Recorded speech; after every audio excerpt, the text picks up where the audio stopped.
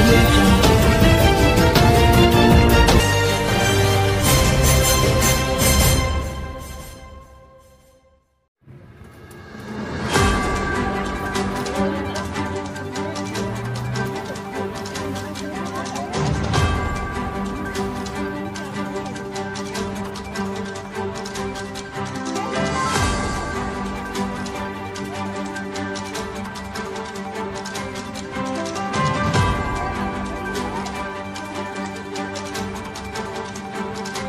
का कार्यक्रम?